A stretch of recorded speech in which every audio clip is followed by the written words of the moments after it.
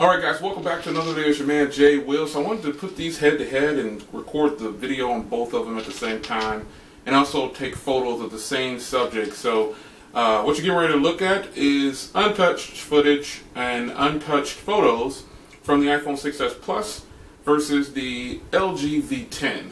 So let's get into it. You leave a comment. Be sure to tell me which, you, which one you think is better and which one you think looks great.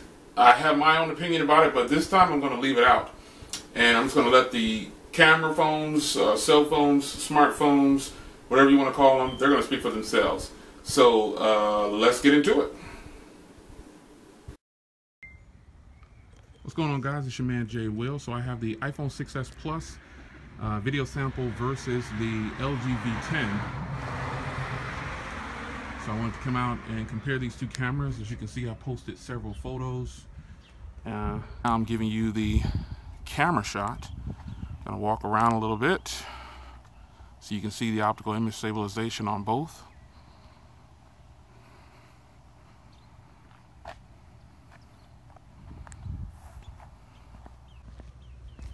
It's pretty good. Let's get in some of my, just got my yard work done.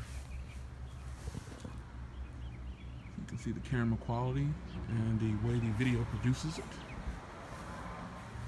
My plants are dead over there in that pot. Oh gosh. Anyway, it's your man Jay Will. I will see you guys in the next video. I wanted to give you some optical image stabilization from both and shoot this video as best I could. Take care, guys.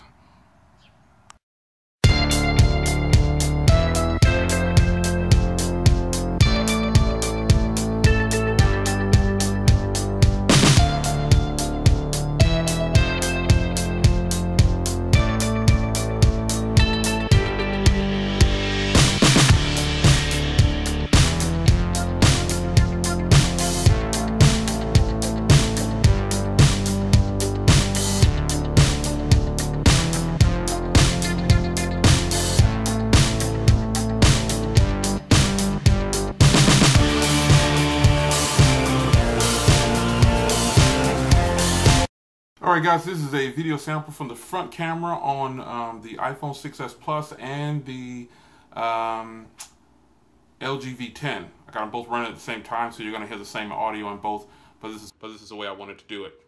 So you can see how the colors are reproduced. I'm in the sitting in my office uh, up against this white wall here, so you can see how the colors produce on each camera.